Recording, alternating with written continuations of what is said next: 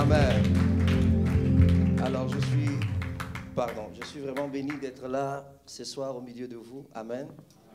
C'est toujours euh, un privilège et une grâce d'être à cette résurrection. Alléluia. Le lieu où tout ce qui était mort en nous ressuscite au nom de Jésus. Je n'ai pas entendu ton Amen. Je voudrais vraiment saluer l'apostolat du Père de la maison. Alléluia. Euh, bon habit à moi et je suis toujours béni d'être dans sa présence. Est-ce qu'on peut acclamer le Seigneur pour l'apôtre de glace Alléluia. On s'est eu tout à l'heure au téléphone et il me disait, mais c'est la maison. Je dis, oui, effectivement, je suis chez moi à la maison, donc euh, il n'y a, a pas de souci. Alléluia. Vraiment que le Seigneur vous bénisse. Je voudrais bénir le Seigneur aussi pour son épouse. Alléluia. Est-ce qu'on peut acclamer le Seigneur pour le moment?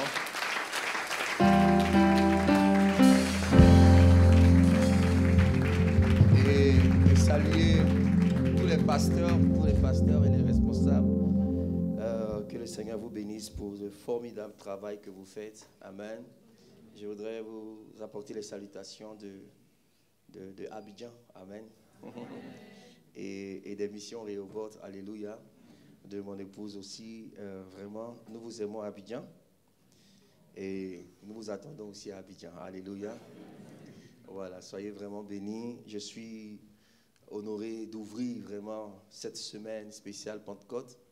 Et je crois que le Saint-Esprit nous fera beaucoup de bien. Alléluia. Est-ce que tu peux dire à ton voisin, le Seigneur te fera du bien? Alléluia. Donc, euh, la Pentecôte, c'est vraiment la liberté de l'esprit. La Bible déclare que là où est l'esprit du Seigneur, là aussi, elle a, elle a liberté. Donc, ce soir, je crois que nous allons recevoir une touche du Seigneur et nous allons entrer dans une dimension de libération totale. Quelqu'un dit Amen. Et le thème vraiment qui nous rassemble est très puissant. Ouin pour, euh, pour influencer, car c'est la pensée du Seigneur que nous influencions notre euh, génération. Amen. Hein. Et Dieu compte sur toi pour le faire. Amen. Donc j'ai, une parole qui m'a fait du bien et qui j'essaie te fera aussi beaucoup de bien. Alléluia. Alors est-ce que tu peux lever les mains vers le Saint-Esprit en, juste en deux, en deux minutes? Et dire merci pour sa présence et dire que nous sommes là pour lui. Merci Seigneur. Merci pour cette bonne présence. Cette présence Seigneur. Merci pour cette merveilleuse adoration que tu nous as donnée, Seigneur, et que nous t'apportons comme un parfum de bonne odeur.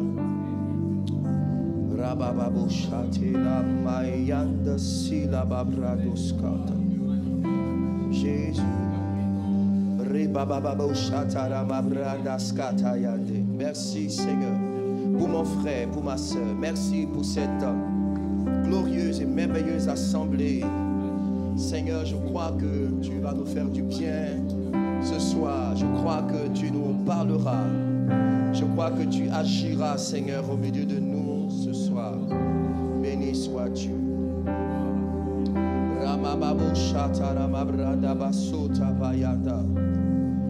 Randa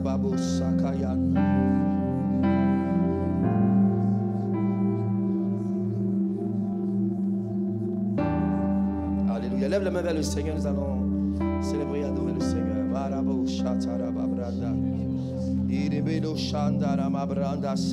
Saint-Esprit, nous ne pouvons pas parler de toi sans toi. Nous ne pouvons rien dire te concernant si toi tu n'es là, Seigneur. Alors, relâche ta présence, Seigneur, parmi nous ce soir, alors que nous sommes là. Une seule parole de ta part suffit, Seigneur. Une parole pointe, une parole pointe suffit, Seigneur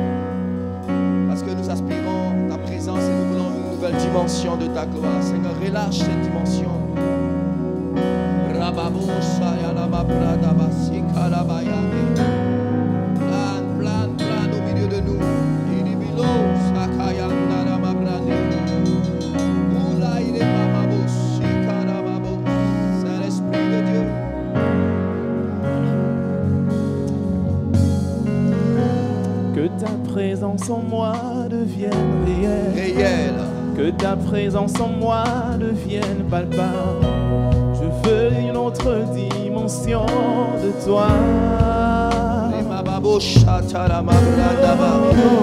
Que ta présence en moi devienne réelle. Que ta présence en moi devienne palpable. Je veux une autre dimension de toi.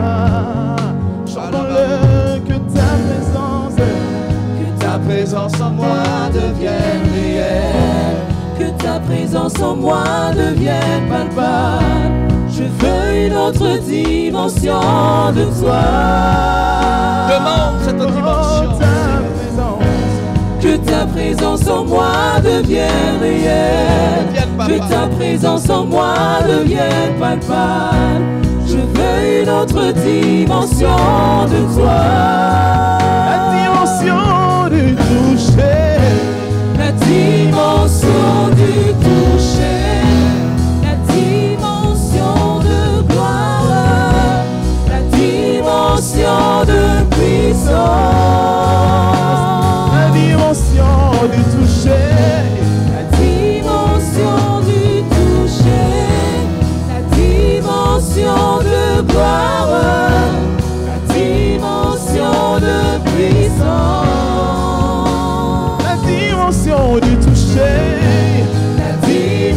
dimension du toucher, la dimension de gloire, la dimension de Moi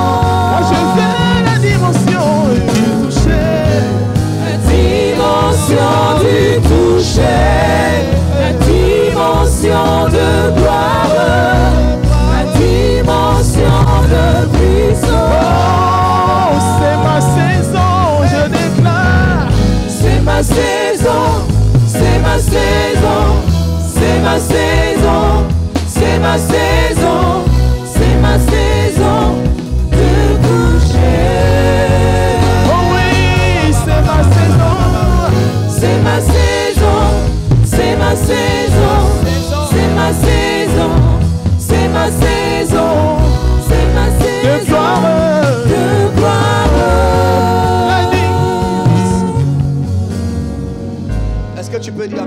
ma saison Alléluia. C'est ma saison de gloire. C'est ma saison d'impact. C'est ma saison pour influencer. C'est ma saison pour dominer. C'est ma saison pour régner. Lève la main droite, dis Seigneur, c'est ma saison. Au nom de Jésus. Ah oui, nous le déclarons, Seigneur. Nous sommes dans notre saison de grâce, notre saison de gloire, notre saison de victoire, notre saison de domination. Merci de relâcher ta grâce, de relâcher l'onction, de relâcher l'onction ce soir. Merci Esprit Dieu vivant. Alléluia.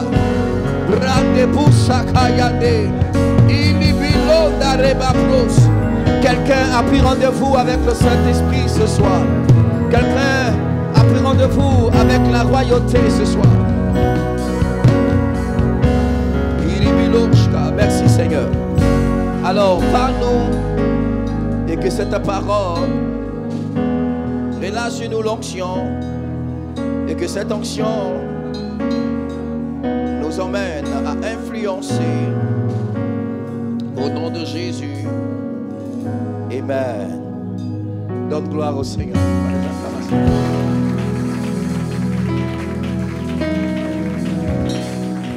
Alléluia.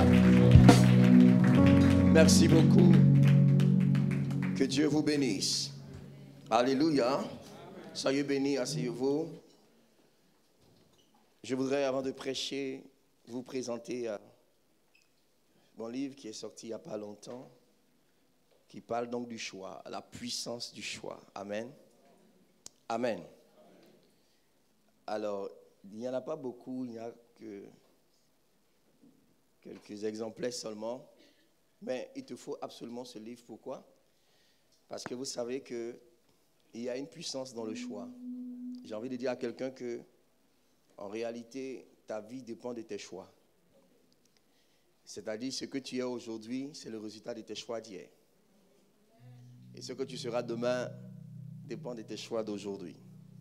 C'est pour cela il est important, il est impératif de savoir faire de bons choix dans la vie afin que ta destinée soit éclairée. Quelqu'un dit Amen. Vous serez surpris de savoir que s'il y a une chose que Dieu ne va jamais faire à ta place, c'est le choix. Dieu ne va jamais choisir à ta place. Amen. Et vous allez vous rendre compte que tous les jours de votre vie, vous faites des choix. Une étude a démontré que chaque jour, une personne fait environ plus de 1000 choix. Oh, quelqu'un dit Amen. Alléluia. Et même lorsque quelqu'un dit je n'ai pas le choix, en fait, tu as le choix. Parce que même ne pas choisir, c'est, c'est choisir. Alors je parle des choix de la destinée, je parle des choix de la vie, et cela est très important. Quelqu'un dit Amen. Dans les choix de la destinée, je parle du choix du caractère. Je parle du choix aussi du conjoint. Amen. Comment choisir la personne avec qui vivre toute sa vie? Est-ce que ce n'est pas une révélation que ça doit se faire? Par une vision, par un songe? Bon, tout ça, c'est dans le livre. Alléluia. Et il y a un chapitre qui, qui me touche particulièrement, c'est le choix de l'atmosphère. Quelqu'un dit Amen. Est-ce que vous savez qu'il y a beaucoup de choses dans votre vie qui dépendent de votre atmosphère? Il y a certaines réponses à vos prières qui dépendent de votre atmosphère. Alléluia. Vous saviez ça? Est-ce que vous savez pourquoi, lorsque Jésus est arrivé euh, dans la maison de Jairus, il a chassé toutes les femmes qui pleuraient? Ça paraît dur, n'est-ce pas? Quand Jésus arrive, il dit Arrêtez de pleurer parce que la petite fille n'est pas morte, mais elle dort. Ils ont commencé à se moquer de lui pour dire Mais est-ce qu'il est, il est normal, c'est Jésus? Et puis Jésus a chassé toutes les femmes qui étaient là, tous ceux qui pleuraient, et il a opéré le miracle. Pourquoi? Parce que l'atmosphère pour la résurrection, ça ne correspond pas à l'atmosphère des pleurs.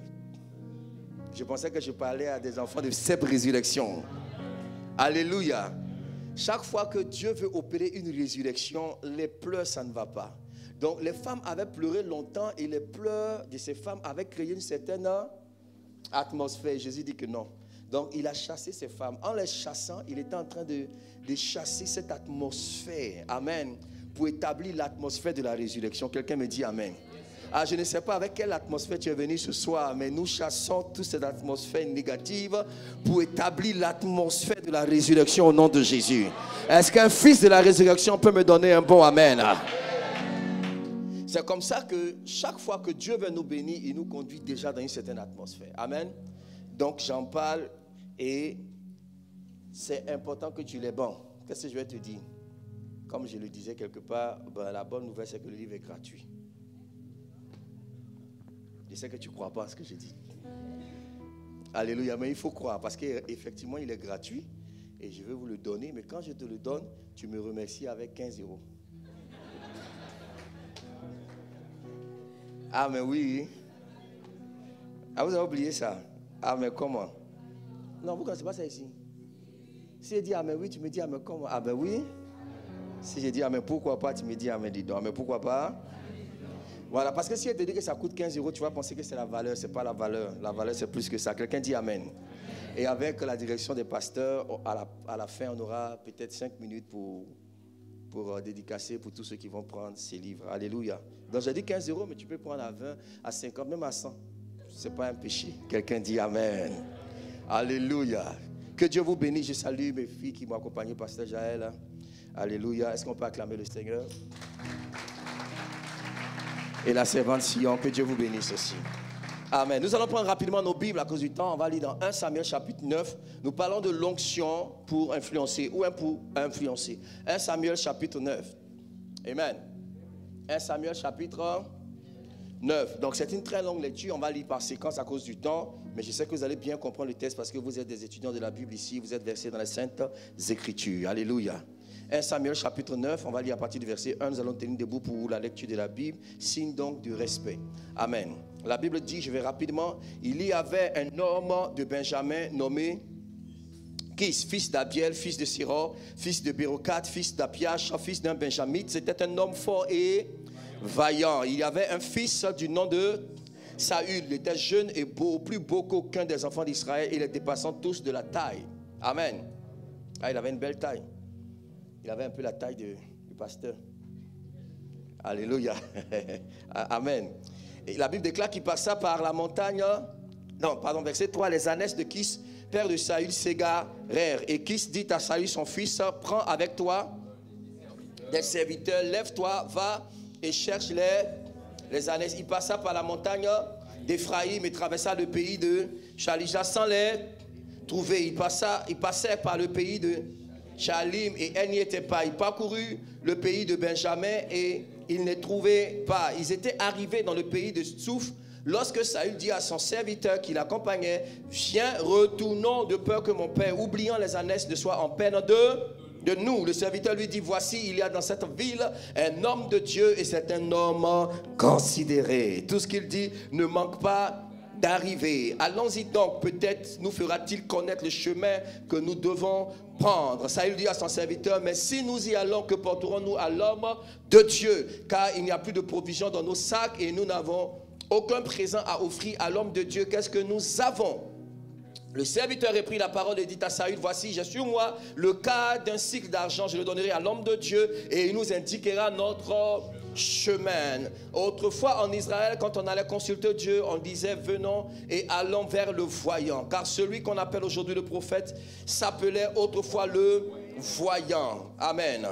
Euh, verset 15, à cause du temps. Or, un jour avant l'arrivée de Saül, l'Éternel avait averti Samuel en disant, Demain à cette heure, je t'enverrai un homme du pays de Benjamin et tu loindras pour chef de mon peuple d'Israël. Alléluia. Il sauvera mon peuple de la main des Philistins, car j'ai regardé mon peuple parce que son cri est venu jusqu'à jusqu'à moi. Oh my God, c'est très fort. Je suis en train de, lire ton histoire, bien-aimé.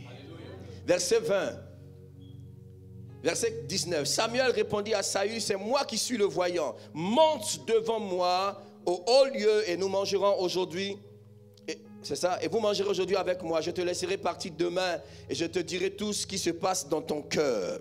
Ne t'inquiète pas des ânesses que tu as perdues il y a trois jours, car elles sont retrouvées. Et pour qui est réservé tout ce qu'il y a de précieux en Israël, n'est-ce pas pour toi et pour la maison de ton Père? Waouh Projetons-nous au chapitre 10, verset 1. Samuel prit la fiole d'huile qu'il répandit sur la tête de Saül. Il l'embrassa et dit, l'Éternel ne t'a-t-il pas oint pour que tu sois le chef de son héritage? Aujourd'hui, après m'avoir quitté, tu trouveras deux hommes près du sépulcre de Rachel, sur la frontière de assez large. Ils te diront, les ânesses que tu es allé chercher sont retrouvées. Quelqu'un dit Amen. Et voici ton père ne pense plus aux ânesses, mais il est en peine de vous et dit, que dois-je faire au sujet de mon fils? Verset 3. De là tu iras plus loin. Quelqu'un dit avec moi, de là tu iras plus loin. Tu arriveras au chêne du tabac où tu seras rencontré par trois hommes montant vers Dieu à Bethel et portant l'un trois chevreaux, l'autre trois gâteaux de pain et l'autre une outre de vin. Ils te demanderont comment tu te portes et ils te donneront deux pains que tu recevras de leurs mains. Verset 5. Après cela, dit après cela. Tu arriveras à Gibea Elohim où se trouve une garnison de Philistins. En entrant dans la ville, quelqu'un dit en entrant dans la ville. Tu rencontreras une troupe de prophètes descendant du haut lieu, précédés de luttes, de tambourins, de la flûte, de la harpe, et prophétisant eux-mêmes. L'esprit de l'Éternel te saisira, tu prophétiseras avec eux et tu seras changé en un autre homme. Quelqu'un dit Amen. Que la parole du Seigneur trouve son accomplissement dans nos cœurs ce soir au nom de Jésus.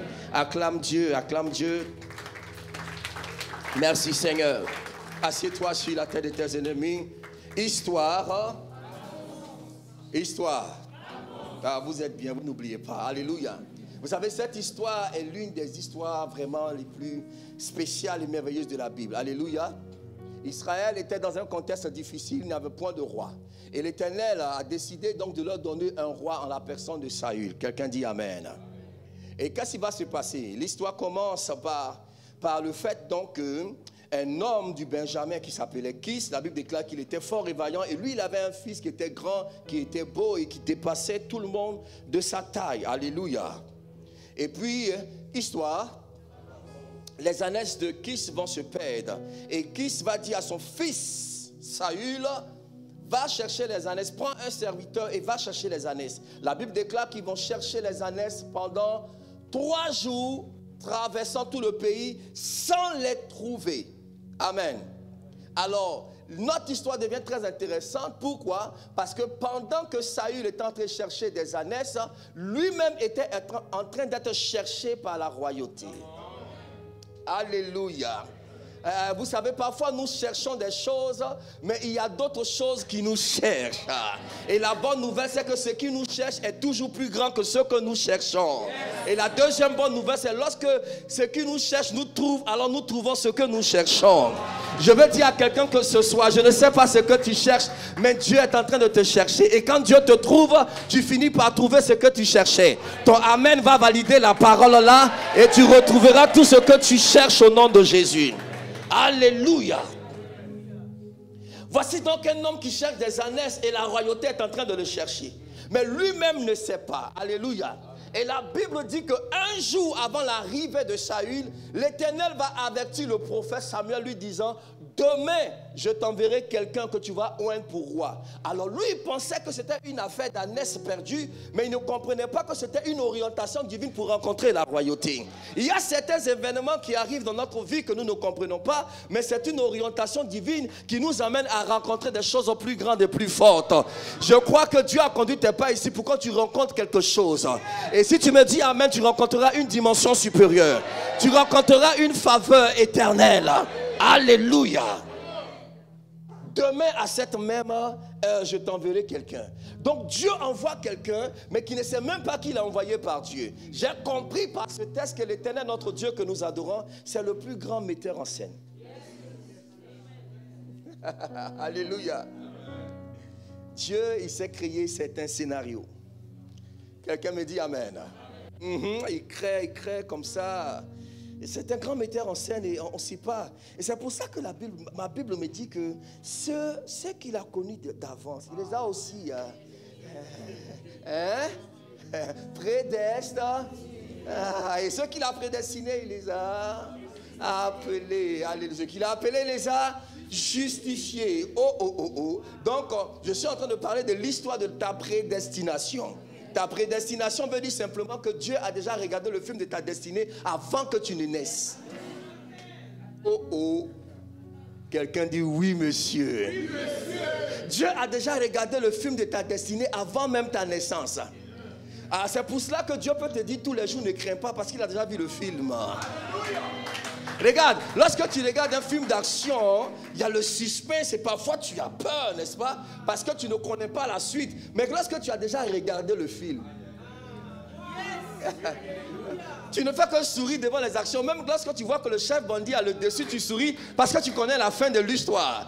Donc même lorsque tu as le sentiment que les problèmes, les esprits, la galère, tout ça manipule ta destinée, Dieu il sourit parce qu'il connaît la suite de ton histoire. Et Dieu sait qu'à la fin, c'est toi qui as... Oh my God. Est-ce que je parle à un vainqueur ici? Est-ce que je parle à un vainqueur? Alléluia. Dieu n'appelle pas les losers, il appelle les vainqueurs. Et si Dieu t'a appelé, c'est parce qu'il a déjà regardé le film de ta destinée et il a vu que c'est toi qui es le vainqueur. Donne-moi un amen de vainqueur que j'avance. Oh, oh donc c'était une affaire de royauté. Alléluia. Et Saül ne sait pas où il part. Quelqu'un me dit Amen. Oh, ce soir je veux parler euh, du parcours de l'onction. Je veux dire à quelqu'un que lorsque l'onction vient sur vous, l'onction vous donne un certain parcours. Alléluia. Et je parlerai donc des trois dimensions de l'onction sur votre vie. Si tu me dis Amen, je vais avancer. Alléluia. j'aime ce texte. L'histoire du prophète Samuel. Pas parce que je m'appelle Samuel, mais j'aime ce texte. Alléluia. Oh, oh, oh, c'est trop fort. Amen. Alors, j'ai une bonne nouvelle. J'ai compris que le chemin de la destinée de la royauté, en général, ça commence toujours par une perte.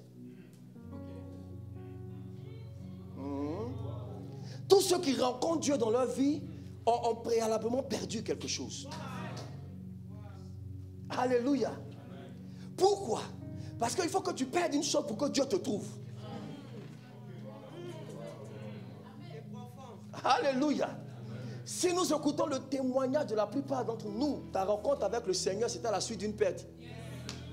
Tu as perdu la santé, tu as perdu l'argent, tu as perdu le travail, Tu as perdu un fiancé, tu as perdu une fiancée, tu as pleuré et on t'a parlé de Jésus et tu es là. Donc la perte n'était pas une malédiction, c'était une bénédiction pour ta vie. Quelqu'un me dit Amen.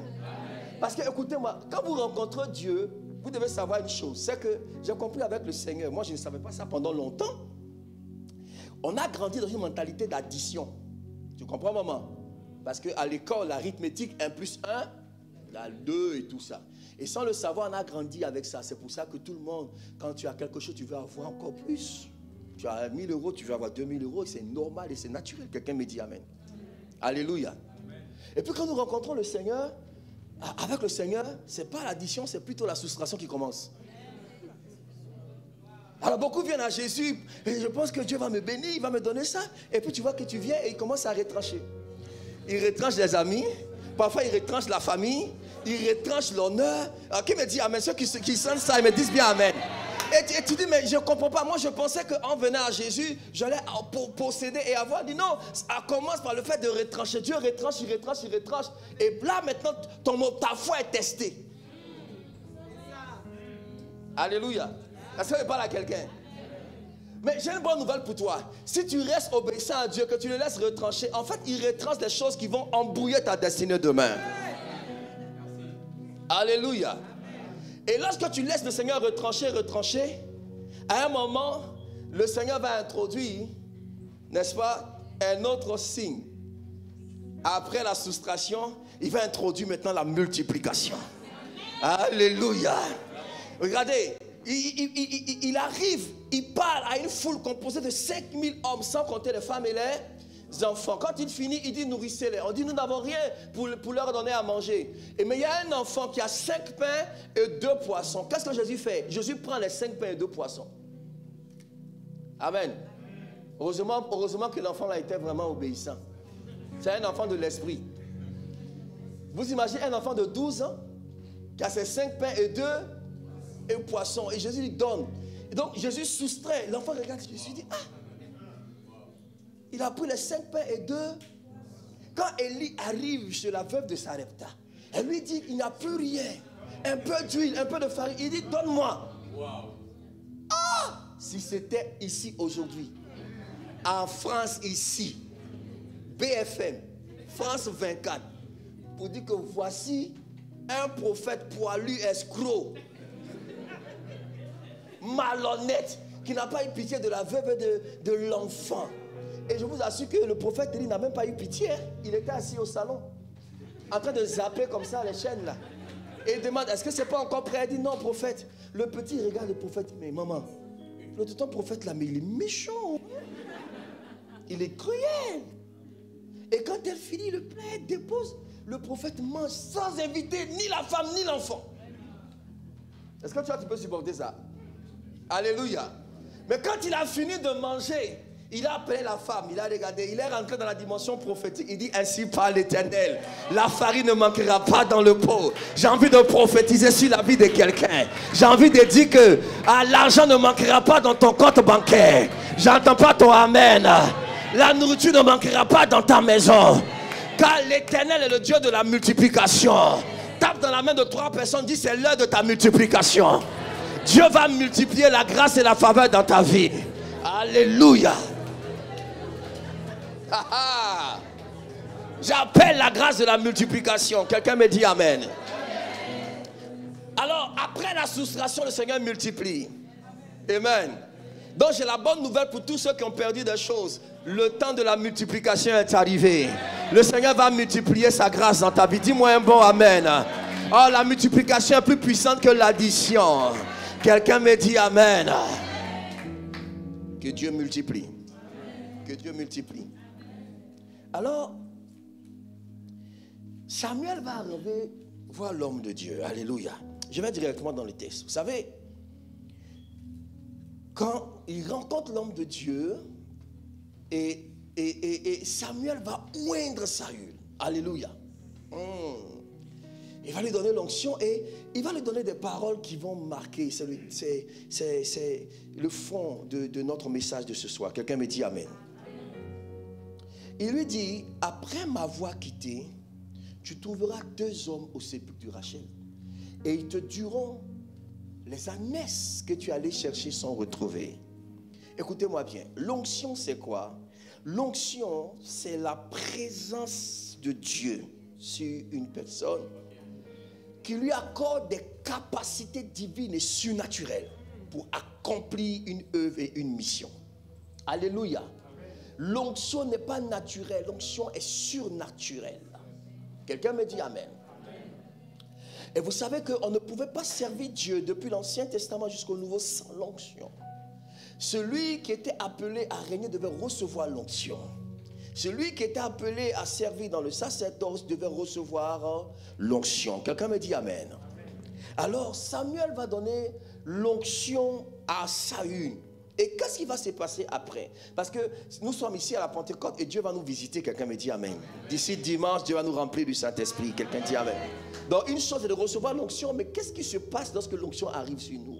C'est ce que je vais t'expliquer aujourd'hui. Quelqu'un dit oui, monsieur. Alors je vais t'expliquer que quand l'onction arrive sur toi, l'onction va commencer à conduire ta vie dans des dimensions et dans des domaines précis. La première chose qui arrive lorsque tu reçois l'onction, c'est que l'onction va te faire traverser un territoire. Amen. Elle va te faire traverser un pays. Quelqu'un dit Amen. La première dimension de l'onction, c'est la restauration. Quelqu'un dit avec ma restauration. Ah, ah, ah, ah J'aime ça. Toute personne qui reçoit l'onction commence à expérimenter la restauration divine. C'est pour cela que Samuel dit à Saül, après m'avoir quitté, tu trouveras deux hommes au sépulcre de Rachel et qui te diront que les années que tu as perdues sont retrouvées. Amen. Donc, alors que nous sommes là dans ce rassemblement de l'esprit et de l'onction, je déclare prophétiquement que tout ce que tu as perdu, tu retrouves cela au nom de Jésus. Ton Amen n'est pas fort. Alléluia. L'onction provoque d'abord la restauration. Amen. L'onction provoque la, la restauration. Hmm. Mais regardez dans ce texte-là, il y a quelque chose qui me marque. Il dit, tu rencontreras, tu rencontreras deux personnes, deux hommes. Amen. Vous savez, la restauration, ça commence par le genre de personnes que tu rencontres dans ta vie. Hmm, parce que Dieu, pour apporter une chose dans ta vie, apporte une personne. Quand le diable aussi veut détruire ta destinée, il fait venir aussi quelqu'un. C'est pour ça qu'il faut avoir le discernement pour sélectionner qui arrive dans ta vie, dans ton intimité. Parce que Dieu te bénira par quelqu'un et le diable essaiera de te détruire aussi par quelqu'un. On est d'accord? Il dit, tu rencontreras deux hommes, mais la situation, la localisation de ces deux hommes-là est importante. Près du sépulcre de Rachel, à la frontière de Benjamin. Est-ce que je peux te parler? Dis-moi oui, monsieur. Vous savez, oh my God, le problème de Saül, c'était que ah, il appartenait à un territoire, à un pays, et ce pays avait deux caractéristiques. Dans ce pays-là, vraiment, on perd tout ce qu'on a. Un. Et deux, quand on cherche, on ne trouve pas. Il y a des gens qui sont dans ce pays-là peut-être. Mais je suis venu avec un visa pour que tu quittes ce pays. Il y a des gens qui ont la grâce, mais qui perdent facilement cette grâce.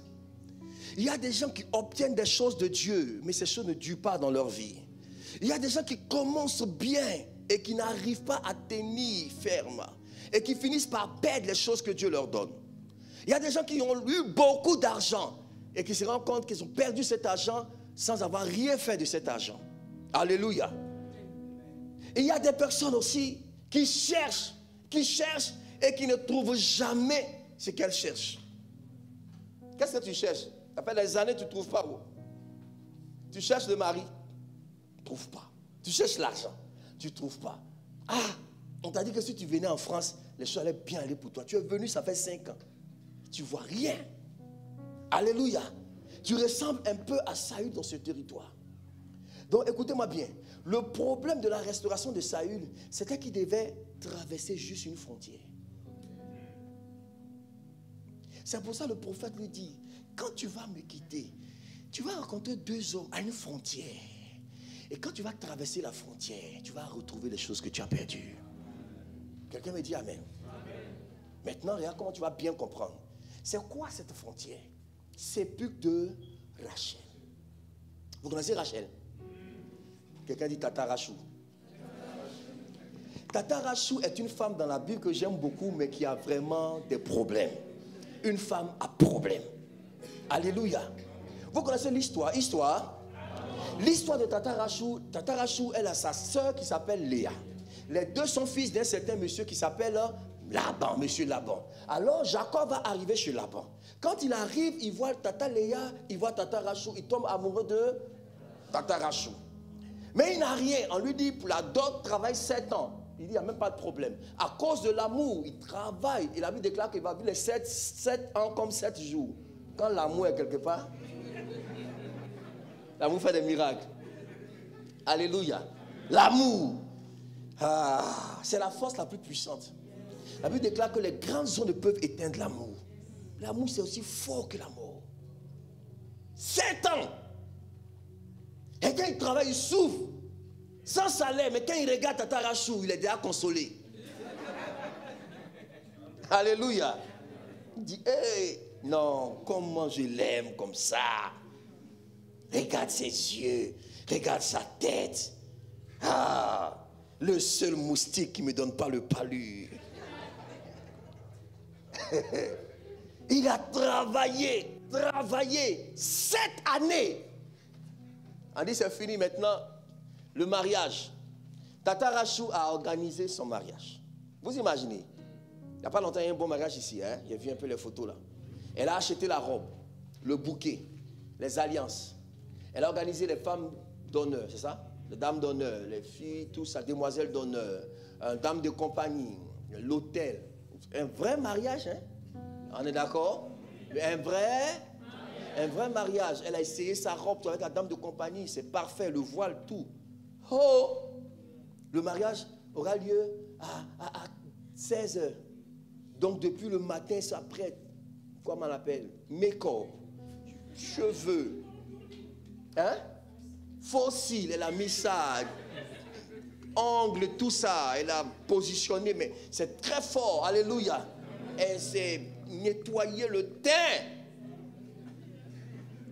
Parce que à partir de 17h, Tata Rachou devient Madame Jacob. On est d'accord? Frère, on fait la cérémonie, on danse, on mange, on boit, tout le monde l'acclame, tout le monde la salue, la félicite. La nuit, par un concours de circonstances. Ah Ça, c'est la sorcellerie, hein Au haut niveau, hein un mystico-sorcier de son père, il va avoir échange. Tata Rachou qui s'attendait à ce que le matin, on l'appelle Madame Jacob, on l'appelle encore Tata Rachou. Quelqu'un dit faille à deux fois. Ça ne t'arrivera pas au nom de Jésus. Tu ne seras pas remplacé au nom de Jésus. Personne ne prendra ta grâce. Personne ne prendra ta bénédiction. Dis-moi un amen agressif et c'est établi. Dieu punisse le diable et sa belle-mère. Je suis parti pour être Madame Jacob, je me retrouve encore Tatarachou. Ah Et c'est sa soeur qui prend la place. Elle qui n'a pas souffert. On n'a pas travaillé pour elle. Elle n'a pas essayé la robe. Elle n'est même pas allée tester les alliances. Comment même la bague entrait dans son doigt. Tata Léa. Écoute-moi bien. C'est le premier problème de Tata Rachou. Des gens qui travaillent, qui travaillent, qui travaillent, et à la fin, au lieu de la récompense, il y a un échange. Je vais aider quelqu'un ici ce soir. Je vais enlever cette malédiction sur. Deuxième problème. Histoire. Eh. On est sorti de la maison de Laban. C'est la maison de la sorcellerie. Il y a des idoles. Tata Rachou a volé les idoles de son père pour mettre dans ses bagages. Il y a toujours des gens la vie qui ont du mal à couper avec le passé. Qui vont toujours garder un objet qui vont, qui vont pour se rappeler du passé là. Hein? La relation qui n'a pas marché depuis ça fait 5 ans. Tu as encore la photo du gars là. Et le gars là, je l'aimais au faïa au nom de Jésus. Tu sais quoi? Ce bracelet, c'est lui qui m'avait donné ça. Mais regarde, c'est ça que Dieu dit à Saül. Quand cesseras-tu de pleurer sur Saül? Il dit à Samuel, je l'ai déjà rejeté. Dieu a rejeté ton passé. Il faut oublier ça au nom de Jésus. J'ai dit à mes enfants, mais si tu passes ton temps à pleurer sur ton passé, tu ne verras pas ton avenir. Samuel pleurait sur Saül et pendant qu'il pleure sur Saül, il n'a pas les yeux pour voir David. Alléluia. Si tu continues de pleurer ton salut, tu ne verras pas ton David. On part d'un lieu où on a souffert. Toi, tu prends encore les idoles pour nous accompagner. C'est comme ça que sans le savoir, vous allez vous rendre compte que c'est Jacob qui a tué sa pauvre femme qu'il aimait. Vous ne savez pas ça? Il ne pouvait pas imaginer que c'était un Rachou qui a pris ça. Laban va le poursuivre pour le rattraper. Il dit que quelqu'un a pris mes dieux. Et Jacob a dit, périsse cette personne. Il ne peut pas imaginer que c'est sa femme bien-aimée. Laban va fouiller, elle va cacher cela. C'est comme ça qu'elle va mourir quelques temps plus tard. Par la pauvre parole de son mari. Troisième problème de Tata Rachou. Elle est enceinte. Elle est enceinte. Pendant des années, elle était stérile. Elle n'a pas d'enfant. On a prié, on a jeûné. Nous tous, on était là 21 jours de jeûne, maman. Pour briser l'esprit de la stérilité. On a prié, Dieu a ouvert la porte. Elle est tombée enceinte. Voilà Jacob. Voilà Joseph. On a prié, Dieu encore a fait le miracle. Deuxième grossesse. On est en train de partir maintenant pour arriver à Bethléem. Bethléem signifie la maison de pain. C'est-à-dire que c'est le lieu où on sera béni, le lieu où on sera récompensé, le lieu où on va vraiment rire après des années de pleurs. À la frontière de Bethléem, Tata Rachou doit accoucher. Et au moment où elle accouche, elle perd la vie. Et avant de mourir, elle donne pour nom à cet enfant Ben Oni qui veut dire le fils de ma douleur. Heureusement que le Père est présent. Et le Père dit non, on ne l'appellera pas Ben Oni, on l'appellera Ben Yamid, qui veut dire le fils de ma droite. Il est important d'avoir un Père spirituel. Parce que ton Père spirituel peut réorienter ta destinée. Ah, je veux bénir l'onction de la porte Douglas. Parce que si quelqu'un t'a maudit, ton Père peut te bénir. Si quelqu'un t'a rendu malade, ton Père peut te guérir. Si quelqu'un t'a appauvri, ton Père peut t'enrichir. Pendant que tu acclames le Seigneur, l'Éternel réoriente ta destinée au nom de Jésus. Alléluia. C'est comme ça que Tata Rachou, papa, elle va mourir à la frontière. Elle est morte à la frontière. À quelque part. Lisez bien le texte à cause du temps. La Bible dit qu'ils étaient arrivés à quelque distance de Bethléem. À quelque distance. On va rentrer dans la grâce. On va rentrer dans la bénédiction. Là, elle meurt. Elle est morte sans avoir vu son fils Joseph devenir premier ministre en Égypte. Vous imaginez si elle était encore vivante. Quelle gloire quelle récompense Mon fils est le premier ministre en Égypte. Mon fils a été élevé. Mon fils est dans la gloire. Elle est morte sans avoir bénéficié de la grâce de son fils. Écoute-moi, il y a des gens comme ça qui souffrent et au temps de la récompense, ils sont disqualifiés. Au temps de la récompense, ils ne sont pas là. Je veux enlever cette malédiction sur ta vie si tu me dis Amen. Et je veux confesser que tu vives, tu vas voir la gloire de tes enfants. Ah, tu n'entends pas, j'entends pas ton Amen. Tu ne mourras pas avant d'avoir joui de, de la bénédiction de tes enfants. Donne-moi un, Amen. Je refuse que tu meurs de manière prématurée au nom de Jésus. Ah, que Dieu te donne de vivre longtemps au nom de Jésus. Lève la main droite, dis je ne mourrai pas. Je vivrai et je raconterai les œuvres de l'éternel. C'est pour cela que papa, Aujourd'hui en Israël, je suis allé cinq fois en Israël, le sépulcre de Tatarachou existe encore. Et il est à la frontière entre Jérusalem et Bethléem. Là où la toile, les militaires israéliens sont là, à droite comme ça, vous voyez le tombeau de Rachel, le monument est là, à la frontière. Qu'est-ce que ça veut dire? Ça veut dire que le problème de Saül, c'est qu'il habitait le territoire du sépulcre de Rachel. Il était dans un pays où on ne trouve pas, un pays où on perd tout. Un pays où on, manque de grâce, on manque de faveur. Quand l'onction arrivait sur lui, Samuel lui a dit Tu vas traverser la frontière. Ce soir, je te donne ton visa pour traverser la frontière. Quelqu'un me dit Amen. Tu traverseras la frontière là.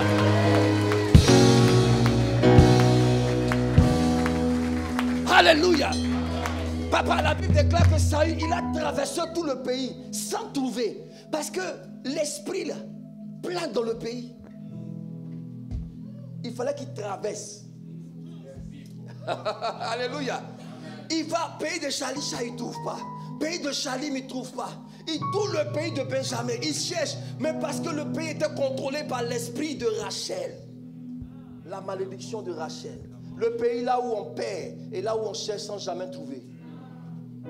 Samuel lui a donné l'onction. Il dit quand tu m'auras quitté, tu vas traverser la frontière. Il y a des frontières à traverser. Il y a des frontières à traverser. Tu vas te rendre compte que avant de donner la bénédiction à Abraham, l'Éternel lui a dit traverse la frontière de ton pays petit. C'est ça qu'il a dit quitte ton pays, quitte ta patrie. C'est là que je te bénirai. Il dit d'abord tu traverses la frontière. Alléluia. J'ai un message qui porte sur le thème bataille aux frontières. Parce que chaque fois que vous êtes à une frontière, il y a des batailles là-bas. Observez bien votre vie. Chaque fois que vous passez d'un niveau à un autre niveau, il y a des combats. Alléluia. Pour passer des centaines d'euros à 1000 euros, c'était un combat. Pour passer de, de 1000 euros à millions d'euros, c'est un combat. De millions d'euros à milliards, c'est un combat. Parce qu'il y a des frontières dans la vie. Pour passer du célibat au mariage, il y a un combat. C'est des frontières invisibles. Quelqu'un me dit Amen. Mais ce soir, tu traverses ta frontière. Et tu seras restauré au nom de Jésus. Je suis en train d'entendre la restauration de la vie de quelqu'un qui me dit Amen. Le Seigneur est sur le point de te restaurer. Regarde, la bonne nouvelle pour toi, c'est que quand Dieu veut te restaurer, tu choisis ton niveau de restauration. Quel est le niveau de restauration Dans tous les cas, nous serons tous restaurés, mais pas au même niveau. J'ai vu dans la Bible que le premier niveau de la restauration, c'est quoi? On dit celui qui a perdu un, un bœuf, il va recevoir aussi un autre bœuf. Premier niveau. Alléluia. Deuxième niveau, c'est la double portion. Alléluia. Tu vois, tu vois un peu, quelqu'un dit Rebecca. Pendant longtemps, elle a donné des enfants, elle n'a pas eu des enfants. Quand Dieu l'a visité, il lui a donné des jumeaux. Ah, je sens une bénédiction jumelée. Si la vie de quelqu'un qui me dit Amen. Tu me dis Amen deux fois, tu reçois la grâce là. Que Dieu te bénisse au double au nom de Jésus. Reçois la double portion. Il y a un troisième niveau de restauration. C'est le niveau là où Zachée dit à Jésus Si j'ai fait tort à quelqu'un, je lui donne le quadruple, quatre fois. Ah, ah j'aime ce genre de grâce là. Si quelqu'un t'avait pris 1000 euros, tu recevras 4000 au nom de Jésus. Quelqu'un t'a pris une voiture, Dieu te donnera quatre voitures. Donne-moi Amen quatre fois. Dis-moi Amen quatre fois. C'est la grâce, c'est la dimension du quadruple au nom de Jésus. Maintenant, il y a un dernier niveau qui a été introduit par Jésus lui-même. Il dit celui qui perdra sa famille, perdra son enfant, perdra sa gloire, il va retrouver au centuple. Ah! Que Dieu ta grâce te donne la grâce de centuple. Reçois la bénédiction au centuple. Au centuple.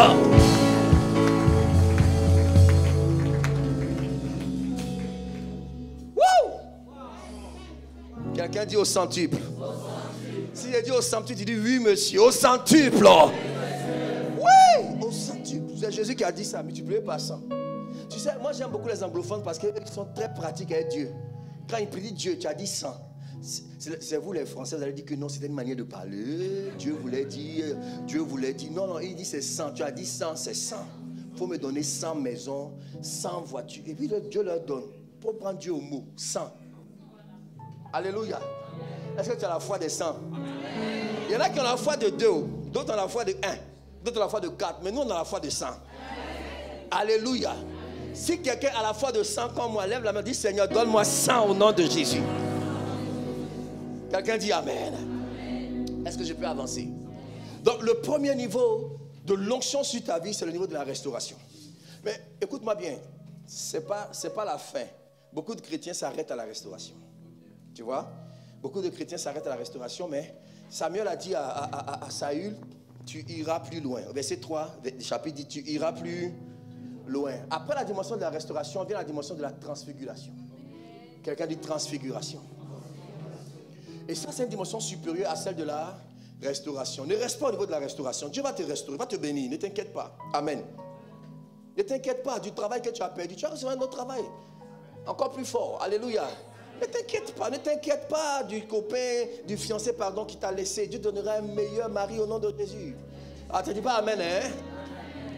Alléluia. Ne t'inquiète pas. Dis à ton voisin, ne t'inquiète pas. Parce qu'il y, a une, y a une autre dimension. Il dit, tu, de là, tu donc de la restauration, on part à une autre dimension. C'est la transfiguration. J'aime la transfiguration. La transfiguration, c'est la dimension où Dieu te donne un nouveau visage prophétique et spirituel. Alléluia. Où Dieu commence à changer ton aspect spirituel et prophétique. Oui, il y a beaucoup de chrétiens, ils veulent juste être restaurés. Si venir à l'église, a perdu mon mari, Dieu m'a béni, il m'a donné mari, ça va. Non, non, on va plus loin. J'ai plus d'argent, Dieu m'a donné beaucoup d'argent. Non, non, non, on va plus loin. Après, après la restauration vient la transfiguration. Quelqu'un me dit Amen. Il dit de là tu iras plus loin et tu arriveras au chêne du Tabor. Retenez bien Tabor. Le Tabor c'est la montagne de la transfiguration. Là où Jésus a prié avec Pierre, Jean et Jacques, il a été transfiguré. On appelle cette montagne la montagne du Tabor. Je l'ai visité, c'est une montagne qui a une atmosphère terrible en Israël. Alléluia. Et il dit où tu seras rencontré par trois hommes. Vous vous souvenez que dans la dimension de la restauration, c'est lui qui a rencontré. Mais dans la transfiguration, c'est lui qui est rencontré. Alléluia. Il y a une dimension où nous allons vers les choses. Et il y a une autre dimension où les choses viennent à nous. Je t'introduis dans la dimension là au nom de Jésus. Oh, tu ne seras pas en train de courir après le mariage. C'est le mariage qui va courir après toi. Tu ne seras pas en train de courir après l'argent. L'argent va courir après toi. Alléluia. Hmm, j'aime la dimension là. C'est cette dimension que David a goûté, papa. Et il a dit oui, le bonheur et la grâce m'accompagneront il y a beaucoup de chrétiens qui sont en train de courir après le bonheur et la grâce. Lui dit, moi je suis en train de partir et le bonheur et la grâce m'accompagnent. J'ai t'introduit dans la dimension si tu me dis Amen. Que le bonheur et la grâce t'accompagnent au nom de Jésus. Il y a quelque chose qui ne va pas bien, n'est-ce pas? Il faut qu'on se rende compte quand même. Hein. Jésus dit, voici les miracles qui accompagneront ceux qui auront cru. Donc en principe, les miracles nous accompagnent. Mais aujourd'hui, nous, on va vers les miracles. On dit il y a un miracle là-bas, puis tout le monde, ouh. Il y a un homme de, miracles là, puis on s'en va. Mais on a dit que les miracles doivent nous accompagner. Et nous, on est en train d'aller vers les miracles. Il y a un problème. Ah, je prie que tu changes ta direction au nom de Jésus-Christ. Et que les miracles t'accompagnent. Que la grâce t'accompagne. Que la faveur t'accompagne. Que la bénédiction t'accompagne. Que la guérison t'accompagne. Oh, tu ne seras plus en train de courir après les choses. Les choses vont courir après toi.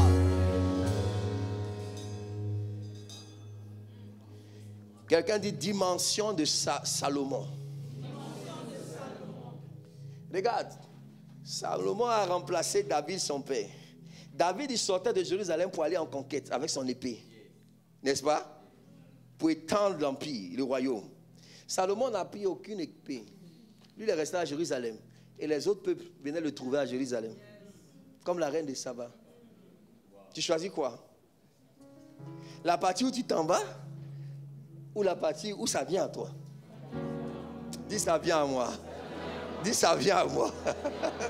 Eh, frère, ça fait des années que tu cours après les choses, c'est bon. Les choses doivent courir après toi maintenant. Oui. Il y a beaucoup de chrétiens qui courent, qui sautent. On dit à telle église là-bas, on court, s'en va là-bas. Nous, nous, heureusement, à cette résurrection, on n'est pas comme ça. Nous, on est tranquille, ça vient à nous au nom de Jésus. Ou bien, S'ils sautent comme ça, Aujourd'hui, en janvier, il est dans telle église. En février, une autre église. En mars, dans une toile. Mais tu cherches quoi? Oh oh. Ça va venir à toi. Et la Bible déclare que, il dit au, au, au chêne du Tabor, la montagne du Tabor. J'aime beaucoup l'histoire de la transfiguration. La Bible déclare que Jésus, Matthieu chapitre 17, il allait prêcher et puis il priait avec Pierre, Jacques et Jean, n'est-ce pas? Et puis son visage a changé dans, une autre dimension. C'était tellement fort que Pierre lui a dit, Seigneur, il est bon que nous restions là. Alléluia. Je dis, non, il faut qu'on annonce encore la parole un peu partout. Histoire. Mais il y a un problème que je veux nous poser à, à ce niveau-là. Et puis la Bible déclare donc que Jésus va descendre de la montagne de la transfiguration, n'est-ce pas? Et puis il rencontre un monsieur qui est venu avec son enfant au bas de la montagne, n'est-ce pas? Et le monsieur dit, il allait voir ses disciples qui n'ont pas pu chasser le démon de la vie de son enfant, n'est-ce pas? Et puis Jésus va se fâcher avec ses disciples, il dit, race incrédule, pervers, jusqu'à quand vous supporterez? Ah Et puis Jésus va chasser le démon, n'est-ce pas? Après qu'ils sont partis, moi j'aime beaucoup cette réaction des apôtres. Ils ont approché Jésus pour dire que, attends, d'habitude on chasse les démons. hein. Mais pourquoi on a échoué sur ce cas? Et Jésus va leur répondre, cette sorte d'esprit ne sort que par le jeûne et par la prière. Ok, quelqu'un dit ok. Alors moi je suis d'accord que Jésus avait prié. Donc il a rempli quand même une partie de la condition, mais Jésus n'avait pas gêné. Histoire. Il n'avait pas gêné. Mais comment a-t-il pu chasser le démon? Lui, il n'a pas gêné. Question. Alléluia. Tu peux m'aider à répondre à ça? Ah, mais tu n'as pas gêné. Et puis tu dis que pourquoi non On n'a pas. Quelle gêne On va aller gêner trois jours pour revenir là, là. Le cas est devant nous. Amen. Jésus n'a pas gêné. Il a prié, il n'a pas gêné, mais il a quand même chassé l'esprit. Quelqu'un dit oui, monsieur. Et je t'explique. Tu veux la réponse? Ah, j'aime la transfiguration. Alléluia. Alors, hmm, eh, la puissance des bonnes connexions. Histoire. L'esprit de classe supérieure qui possédait le jeune homme était un démon appelé lunatique, ou qui le rendait lunatique. Et le Père rend le témoignage que quand l'esprit se manifeste dans la vie de son fils, tantôt il le jette dans le feu, tantôt dans l'eau. N'est-ce pas? Or Jésus, sur le sommet de la montagne, il y a eu Moïse et Élie. Et la Bible précise que Moïse et Élie s'entretenaient avec lui. Or, vous vous rappelez que Moïse est le prophète de l'eau. Le prophète qui a le mystère de l'eau. Son nom veut dire tirer des eaux. C'est lui qui a frappé le rocher, l'eau est sortie. Il a divisé la mer rouge. Donc il a le mystère de l'eau. Et Élie, il est le prophète qui a le secret du feu. C'est lui qui fait tomber le feu du ciel. Donc Jésus, aïe, aïe, aïe, aïe. Oh Aïe, aïe, aïe, aïe, aïe, aïe. En parlant avec Moïse et avec Élie, Jésus a eu le mystère par la connexion. Donc quand il redescend de la montagne et qu'il voit l'esprit dans l'eau, il a le secret reçu par Moïse. Quand l'esprit va dans le feu, il a le secret reçu par Élie. Quelqu'un me dit Amen. Je suis en train de te connecter à des dimensions supérieures. Par ta connexion. Par ta connexion. Tu peux rattraper des années de retard. Ce que les autres peuvent faire en 10 ans, par une connexion, tu peux faire ça en un mois. Pourquoi la connexion est, im- est importante? Parce qu'elle te permet d'aller vite. Personne ne peut réussir seul dans la vie. Jésus lui-même nous donne l'exemple. Parce que c'est quelqu'un qui fait que quelqu'un devient quelqu'un. Ah, j'entends les chrétiens dire que moi, non, moi, j'ai ma relation avec Dieu. Moi, je n'ai pas besoin de venir à l'église. Moi, je prie. Hé, c'est faux. Tu resteras, tu vas rester dans ton même niveau là, hier, aujourd'hui et éternellement. Tu as besoin de quelqu'un. Alléluia. Jésus a eu besoin de quelqu'un. C'est comme ça que, alors qu'il n'a pas jeûné, mais il a reçu par la connexion l'onction pour régler le problème. C'est pour ça qu'il dit, on appelle ça l'onction du frottement. Dis avec moi l'onction du frottement. Ah, frotte quelqu'un un peu à côté de toi. Les pharisiens disent un soir à Jésus, mais on a un problème avec toi. Nous, on gêne deux fois par jour. Les disciples de Jean gênent deux fois par jour. Toi, tes disciples ne gênent pas. Pourquoi? Jésus dit, mais pourquoi voulez-vous qu'ils gênent alors que je suis là? Ils se frottent déjà à moi. L'onction que vous recherchez dans le jeûne, là, ils ont ça par le frotte.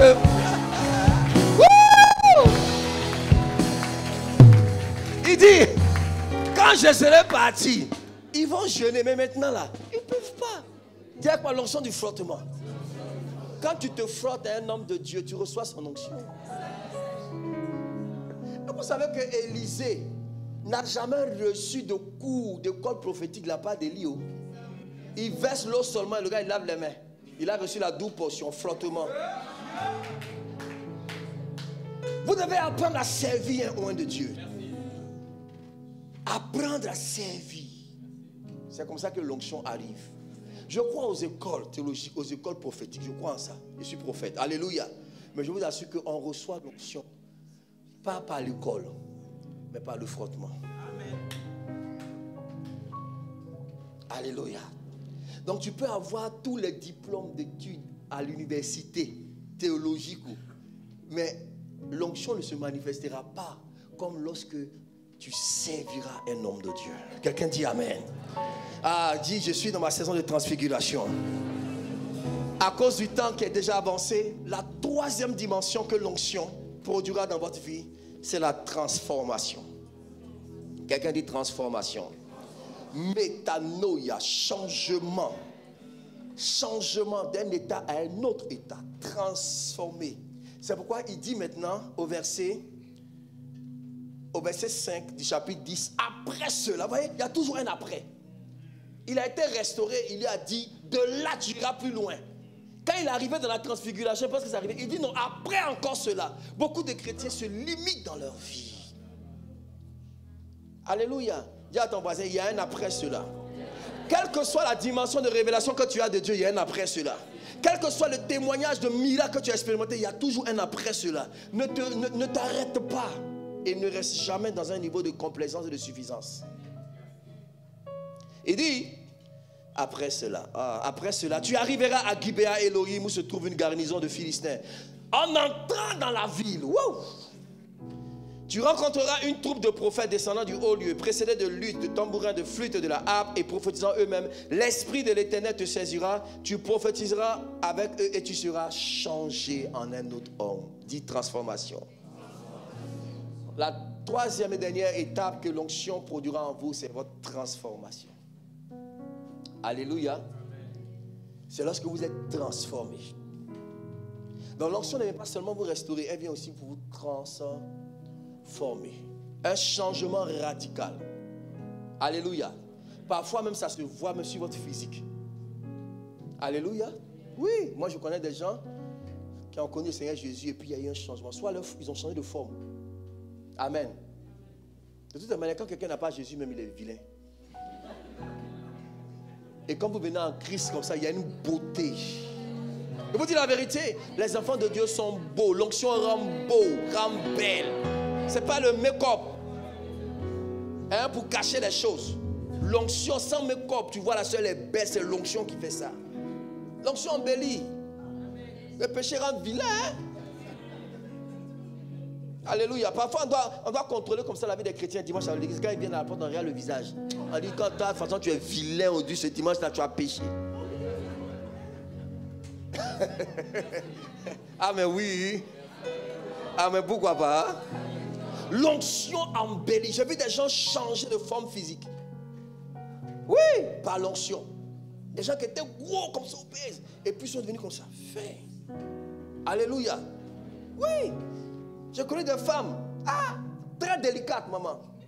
Mais l'onction les a rendues belles, changées. C'est-à-dire le changement intérieur ressort sur l'extérieur. Métanoïa, métamorphose. La chenille devient papillon. Alléluia. Écoute-moi bien. Dieu est plus intéressé par ta transformation que par ta restauration. Ta restauration n'est pas un problème. Mais ce que Dieu désire, c'est d'abord ta transformation. La Bible déclare que la création attend avec un ardent désir la révélation, autrement dit, la transformation des fils de Dieu. Pas la restauration des fils de Dieu. La création attend notre transformation, bien-aimé. Alléluia. Parfois, quand tu es plus jeune, on désirait, on priait, Seigneur, je veux que tu m'utilises. Et après, j'ai compris que non. Je ne veux pas que tu m'utilises seulement, je veux que tu, tu m'habites. Parce que Dieu peut vous utiliser sans vous habiter. J'ai changé ma prière. Surtout quand j'ai vu que Dieu peut utiliser n'importe qui. Il a utilisé même un âne pour parler à un prophète. J'ai dit que, oh, donc être utilisé par Dieu, c'est le premier niveau. Tu seras même choqué que Dieu utilise même le diable. Donc être utilisé par Dieu, tu n'as rien de plus que le diable. Et parfois Dieu utilise mieux le diable que toi.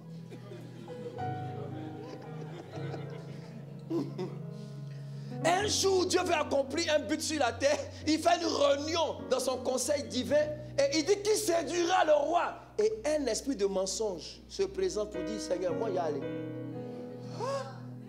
Dieu est capable d'utiliser l'esprit de mensonge. Ah, Jean, de choquer ta théologie. Oh. Dieu peut utiliser même un démon. Oh. Donc, si Dieu peut utiliser un démon et puis tu utilises, ben, tu vas faire quoi?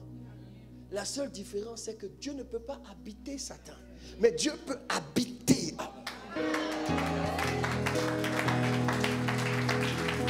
Dieu ne peut pas, il peut utiliser un esprit de mensonge, mais il ne peut pas habiter dans le mensonge. Donc, être utilisé par Dieu, c'est être habité. Alléluia. Dis avec moi, Seigneur, je veux pas seulement que tu m'utilises, je veux que tu m'habites. Les gens vont dire au Seigneur dernier jour, n'avons-nous pas prophétisé? N'avons-nous pas fait des miracles? N'avons-nous pas chassé des démons?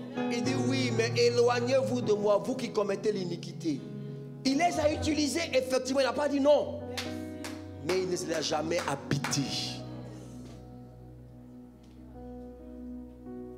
Alléluia. Jésus n'a jamais dit, celui qui croit en moi, je l'utiliserai. Il dit, celui qui croit en moi, mon Père et moi, nous viendrons et nous habiterons à lui. Nous ferons en lui, il sera notre demeure.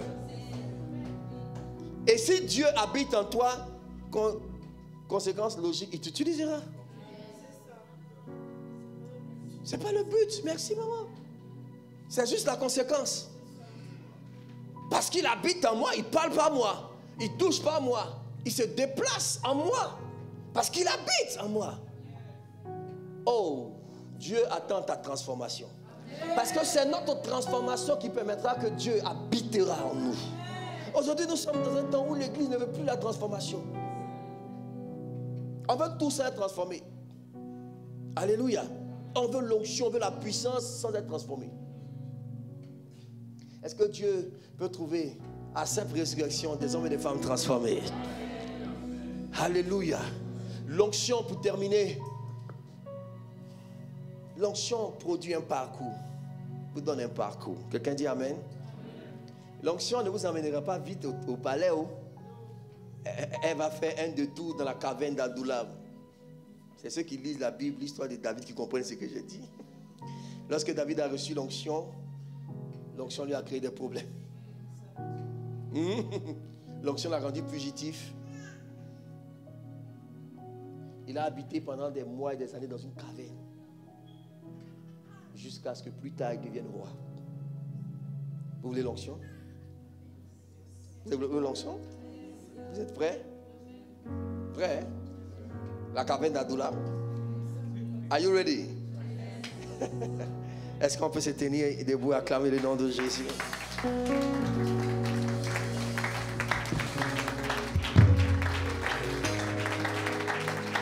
Si tu es béni, est-ce que tu peux pousser des cris? Des cris. Oh la maman Remabo satana mabranda basakaya. Il est babro sakaya deborosa. Lève la main vers le Seigneur s'il te plaît. Shala mabrandos. Iribiloska. Allons-y. Ramababo shatana mabrandesko.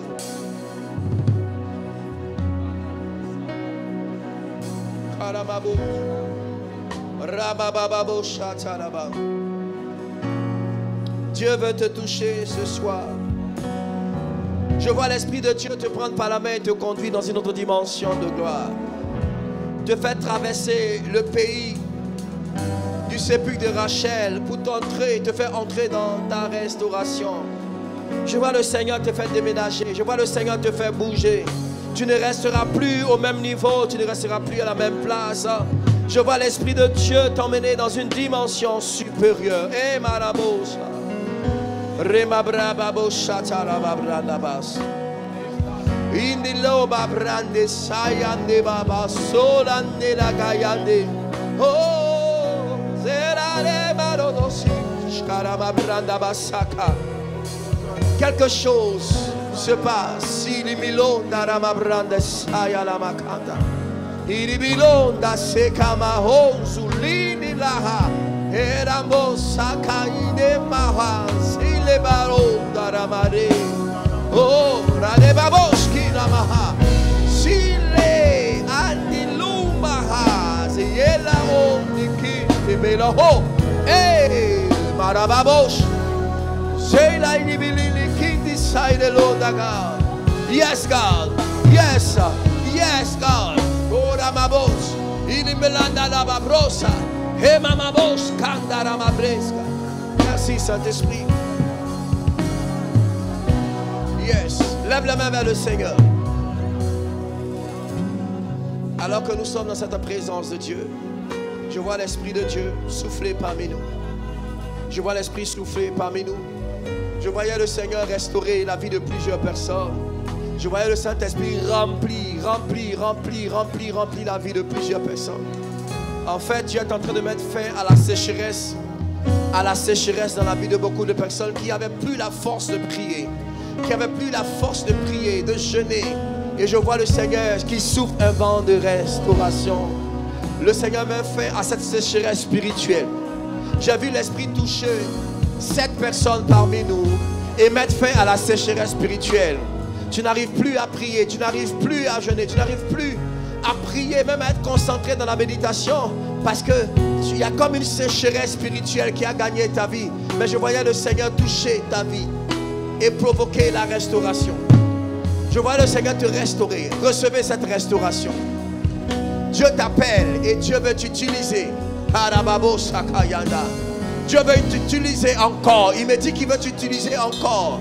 Il veut t'utiliser encore. Il n'a pas fini avec toi. Le Seigneur va finir avec toi. Dieu te cherche et ce soir, Dieu t'a trouvé. Dieu t'a trouvé ce soir. My God. Karababos. Saint-Esprit, merci.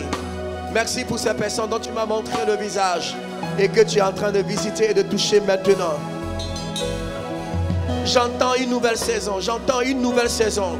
C'est une nouvelle saison avec le Saint-Esprit. Alors que nous célébrons l'anniversaire de la présence de l'Esprit sur terre et dans l'église, il est en train de te toucher, de te visiter. Et il te touche d'une manière spéciale comme il ne t'a jamais touché. Écoute-moi, tu ne repartiras pas d'ici tel que tu es venu. Tu repars avec la touche de mon Dieu, avec la touche de l'Esprit. Oh my God, ça se passe. Ça se passe. Ça se passe. Reçois cette grâce. Oh, yes. Reçois cette grâce. Oh my God, oh my God.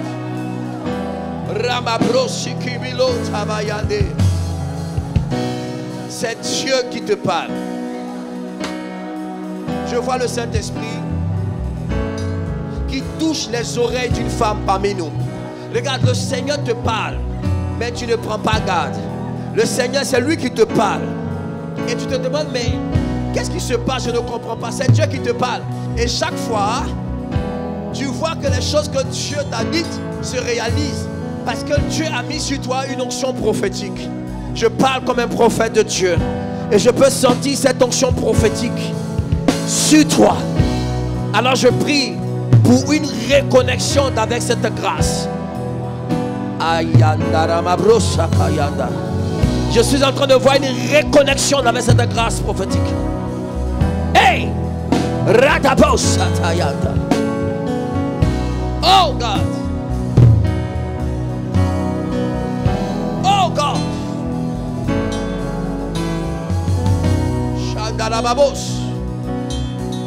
Merci Saint-Esprit. Dieu est en train de te toucher. Il y a restauration dans la salle. Il y a transfiguration. Il y a restauration. Il y a transfiguration. Il y a transformation. Oui, nous voulons prier encore deux minutes. Parce que Dieu est en train d'opérer. Parce que l'Esprit est en train d'opérer. Parce que l'Esprit est en train d'opérer. Parce que Dieu est en train de faire. Il dit transfiguration. Il dit transfiguration. Il dit transfiguration. La babo sakayande. Oh God.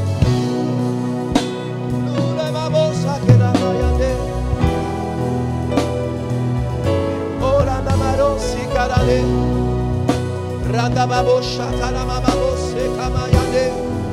est en train de le faire. Dieu est en train de le faire. Jesus. Dieu est en train de le faire. C'est une nouvelle saison de grâce. Merci Saint-Esprit. Merci Saint-Esprit. Touche. Oh my God. Je vois le Seigneur restaurer plusieurs. Touche. Touche Saint-Esprit. My God. Shadalamabos. Saint-Esprit. Karababos. Touche Esprit du Dieu vivant. C'est l'heure de l'Esprit pour toi. C'est l'heure de l'Esprit pour toi. C'est l'heure de l'Esprit pour toi. C'est l'heure de l'Esprit pour toi. Reçois l'Esprit. Reçois l'Esprit. Reçois l'Esprit. Ah, ah, ah, ah, ah. Touche. Karamabos. C'est l'heure. Est là. La main de Dieu sur elle. Chande babos.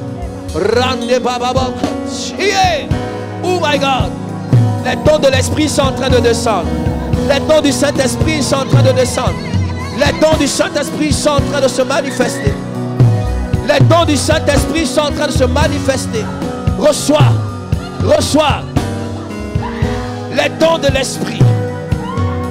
Les dons de l'Esprit. Les dons de l'Esprit. Les dons de l'Esprit. Les dons de l'Esprit sont en train de se manifester. Lève les mains vers le Seigneur. Je veux te faire cadeau de ce don. Je veux te faire cadeau de son don. Touche.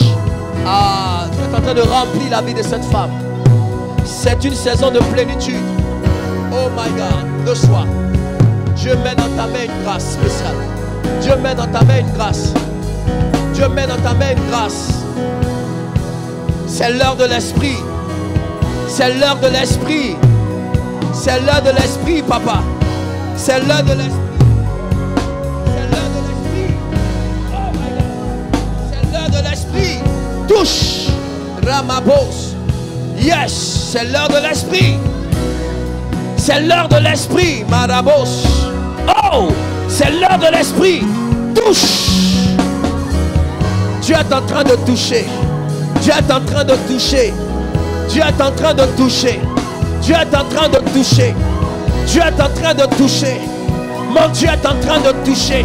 C'est l'heure de l'esprit. C'est l'heure de l'esprit. Oh my God. Sharamababos. Yes, God. Shandalamababos. Ah. My God. J'ai vu la main de l'esprit ici, cette femme. Jesus. Sa main nous touche. Sa main nous touche. Sa gloire est là. Sa gloire est là. Oh. Sa main nous touche. C'est la saison de l'esprit. Et sa main veut te toucher. Sa gloire est là.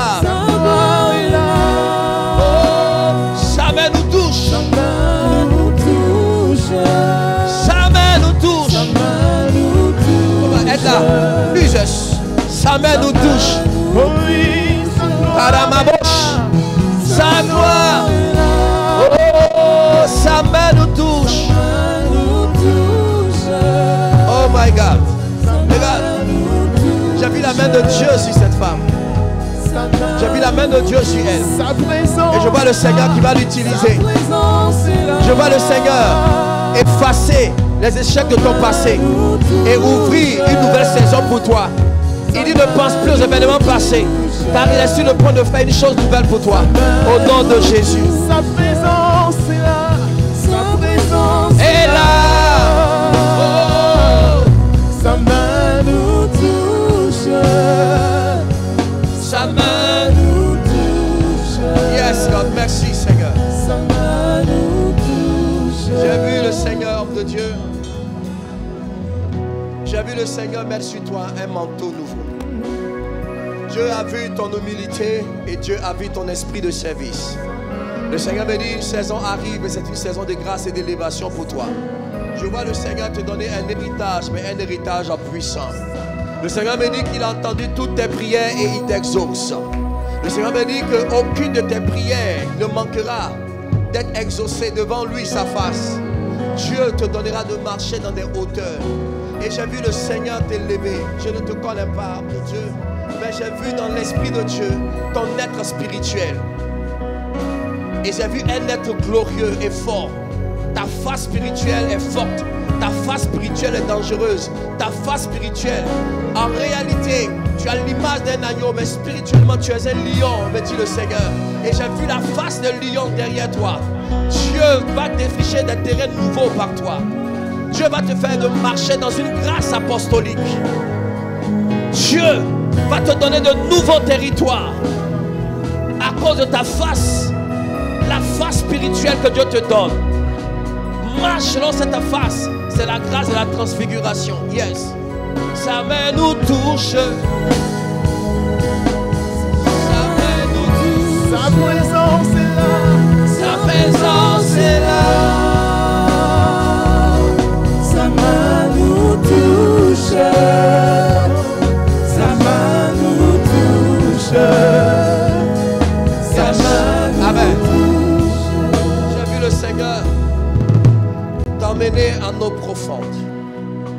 Seigneur ouvre une porte de profondeur pour toi, maman. Le Seigneur me dit, tu ne resteras pas à cette même place, va plus loin. J'entendais de la part de l'Esprit, va plus loin. Et j'ai vu une porte d'une grâce prophétique. Pendant que tu chantes que tu célèbres Dieu, j'ai vu le Seigneur mettre sur toi cet esprit fort et prophétique. Il faut l'aider. Parce que Dieu dit, va plus loin. Et je la voyais marcher. De gloire en gloire et de profondeur en profondeur.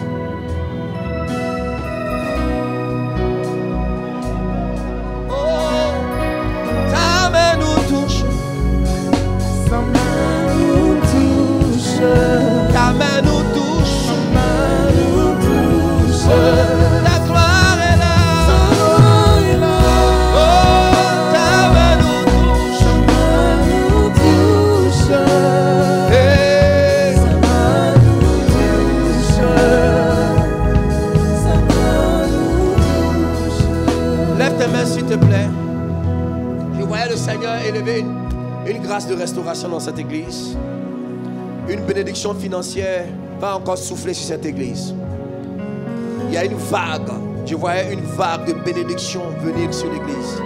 Et vous allez rendre témoignage de cette vague de bénédiction qui va toucher même aux finances, qui va toucher à l'aspect social, beaucoup de mariages, beaucoup de restauration, beaucoup de travail, des opportunités qui vont s'offrir. Je parle prophétiquement, je vois une vague, c'est une grande vague qui va souffler cette église. Restez connectés à cette vision, restez connectés à cette église parce que le Seigneur est en train d'envoyer une vague, une vague de grâce, une vague de bénédiction. Dieu va élever des ministères dans cette église. Dieu va élever des onctions, des onctions, des ministères et des manteaux, des onctions, des ministères et des manteaux, me dit le Seigneur. Seigneur, merci pour ta grâce. Soyez visités financièrement. Tous ceux qui vous doivent vont vous chercher dès ce soir pour vous donner, pour vous restaurer. Parce que Dieu a libéré la grâce de la restauration. Il va y avoir une restauration financière. Soyez reconnaissants à Dieu parce que Dieu vous bénira financièrement. Dieu vous donnera beaucoup de moyens, beaucoup d'argent. Soyez reconnaissants à Dieu, ne manquez jamais de